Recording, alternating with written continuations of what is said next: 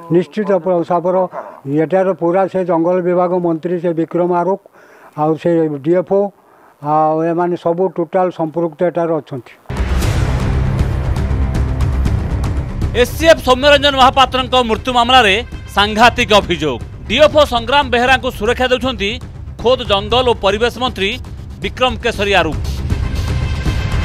ଆଉ ବିକ୍ରମଙ୍କ ସୁରକ୍ଷାରେ ରହିଛନ୍ତି ଡିଏଫ୍ଓ ঘটনাকে একুশ দিন বিতি যাই বেড়ে ন্যায় দেলে সরকার সৌম্যঙ্ক বাপাঙ্ অভিযোগ ডিজিপি অভয় প্রতিশ্রুতি দিয়ে হলে ন্যায় দেলে পিসিসিএফ প্রতিশ্রুতি দিয়ে ন্যায় দেলে মুখ্যমন্ত্রী অভিযোগ প্রকোষ্ঠে গুহারি করে গুহারি শুণিলে না আইন মন্ত্রী জনাই ন্যায় পাইলু না সৌম্যঙ্ক বাপা অভিযোগ করেছেন এযায়ে বিদ্যাভারতী ডিএফও ও রোষেয়া মোবাইল যাঞ্চ হল না ଏସ୍ପିଙ୍କ ଠାରୁ ଆରମ୍ଭ କରି ଆଇଆଇସି ପର୍ଯ୍ୟନ୍ତ ସମସ୍ତେ ଡିଏଫ୍ଓଙ୍କୁ ସୁରକ୍ଷା ଦେଇଥିବା ସୌମ୍ୟଙ୍କ ବାପା ଅଭିଯୋଗ କରିଛନ୍ତି।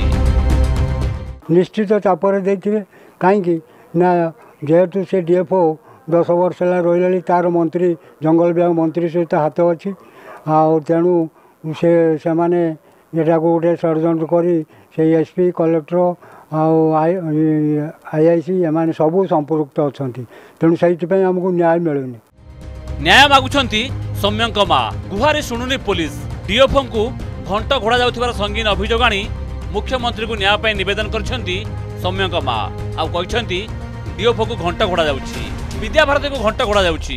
ଆଉ ସେମାନଙ୍କୁ ଏଯାଏ କାହିଁକି ଗିରଫ କରାଗଲା ନାହିଁ ବୋଲି ପ୍ରଶ୍ନ କରିଛନ୍ତି ସୌମ୍ୟଙ୍କ ମା ଏସବୁ ଘଣ୍ଟ ଘୋଡ଼େଇ ଏସବୁ ରଖୁଛନ୍ତି। ଏପର୍ଯ୍ୟନ୍ତ ସେ ଆଇନ କାଢ଼ୁନାହାନ୍ତି। ଏ ହେଉଛି କୋଡ଼ିଏ ଦିନ ହେଇଗଲାଣି ଏପର୍ଯ୍ୟନ୍ତ ମୋ ପୁଅର ମୋ ପୁଅ ଫେରିଲାନି କି ମୋ ପୁଅର କିଛି ଖବର ମିଳିଲାନି। ପୂର୍ବରୁ ଆପଣ ବହୁତ ବରିଷ୍ଠ ଅଧିକାରୀଙ୍କୁ ମୁଁ ସବୁ ମୁଁ ସବୁ ଡିଜିଙ୍କି କୁହାହେଇଥିଲା। ମୁଁ ହେଉଛି ହାତ ଯୋଡ଼ିକି ଅନୁରୋଧ କରିଥିନି ମୁଖ୍ୟମନ୍ତ୍ରୀକି। ତାଙ୍କର ବି ନ୍ୟାୟ ମାଗିଥିନି ଏପର୍ଯ୍ୟନ୍ତ କେହି ମୋ କଥା ଗୁହାରି ଶୁଣୁନାହାନ୍ତି। ଏସ୍ସିଏଫ୍ ସୌମ୍ୟରଞ୍ଜନ ମୃତ୍ୟୁ ମାମଲାରେ ବିବାଦରେ ଗଜପତି ପୋଲିସ। ଗଜପତି ଏସ୍ପିଙ୍କ ଭୂମିକାକୁ ନେଇ ଉଠିଛି ପ୍ରଶ୍ନ।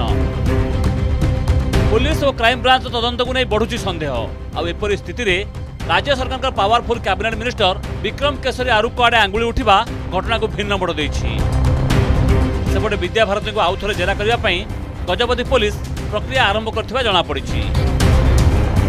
गरि Manoj Pradhan report Argus news